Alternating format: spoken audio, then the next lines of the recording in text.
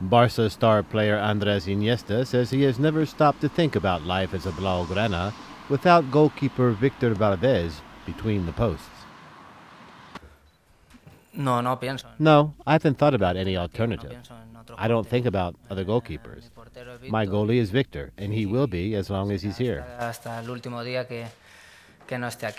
Hasta el último día que, que no esté aquí. The Catalan keeper informed Barcelona last week that he would not renew his contract when it expires in 2014, according to the player's agent.